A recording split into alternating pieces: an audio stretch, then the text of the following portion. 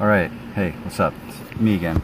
So, um, we're gonna reset the oil light in the 2014 Toyota Camry. Now you can see right here, maintenance required, blah blah. Okay, so what you do is you turn the key on without turning the engine on. Come over here, right here, it's kind of hard to see, I know, but there's an odometer trip button. Set it to trip A, okay? Now, let me place my phone down so I can do all this and, and so you guys can still see.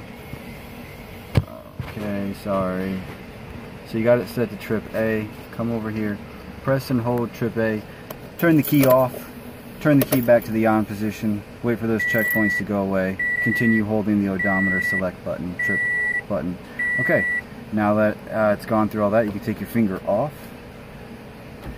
And now, when I turn the vehicle on, you can see that the maintenance required light is gone. There you go. See you next time, guys.